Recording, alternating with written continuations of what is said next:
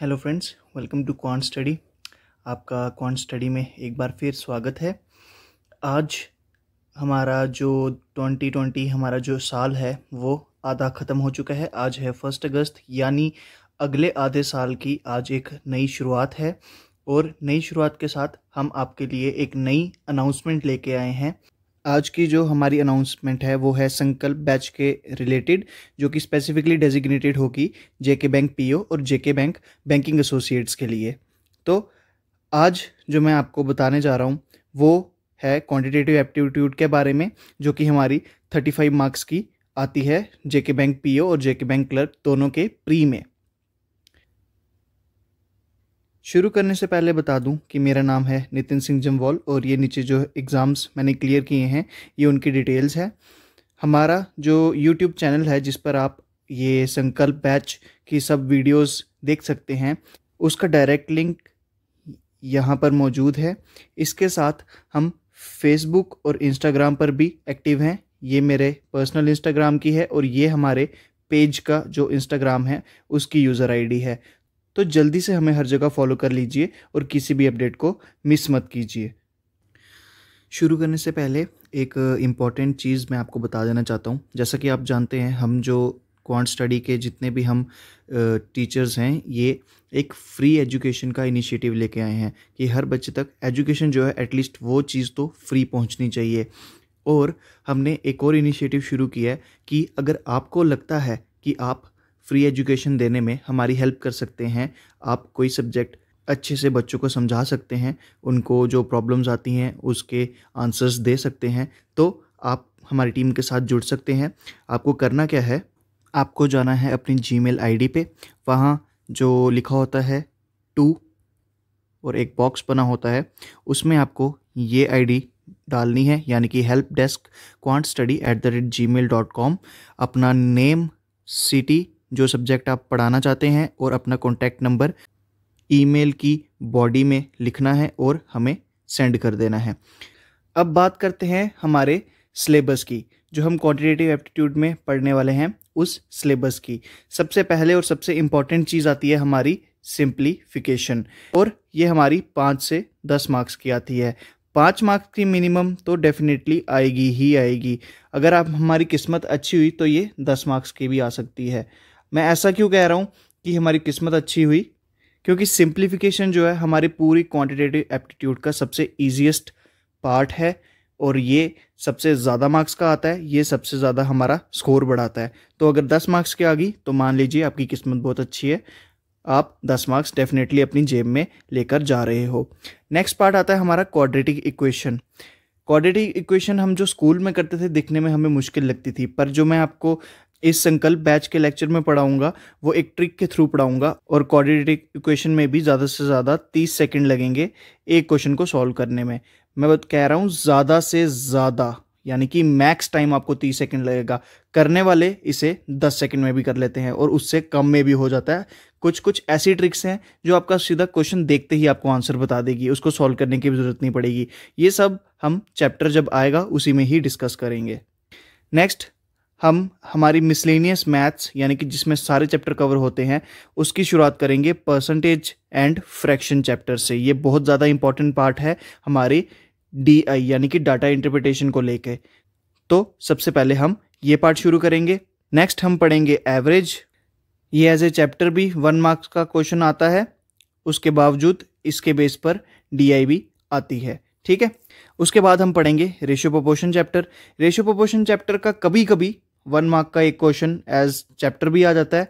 पर इसका सबसे ज़्यादा इंपॉर्टेंट रोल कहाँ है? इसका सबसे ज़्यादा इंपॉर्टेंट है हमारे आगे के तीन चैप्टर्स में, यानी कि एजिस पार्टनरशिप और मिक्सचर एलिगेशन में। उसके अलावा रेशो प्रपोशन डीआई में आता है।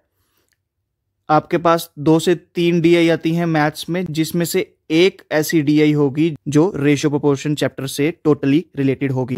तो इस एस्पेक्ट में हमारा रेशो प्रोपोर्शन चैप्टर और हमारा परसेंटेज चैप्टर बहुत ज़्यादा इंपॉर्टेंट है।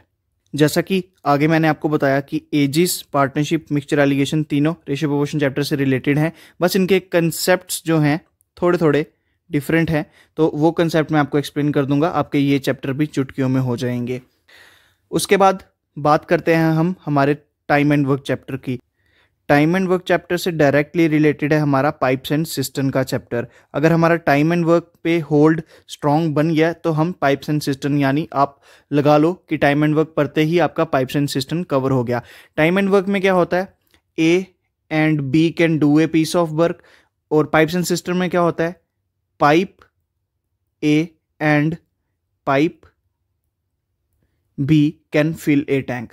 बस यही चीज़ों का, वर्डिंग्स का डिफरेंस है और इसमें एक लीकेज का कंसेप्ट आता है, वो भी मैं आपको पढ़ा दूँगा।